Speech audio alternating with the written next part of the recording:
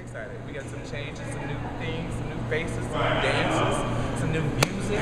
So, damn it, you hold on to your, your, your pants, people. It's on and popping. But yeah, it's exciting.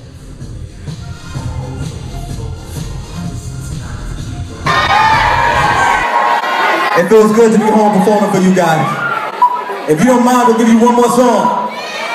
Turn up!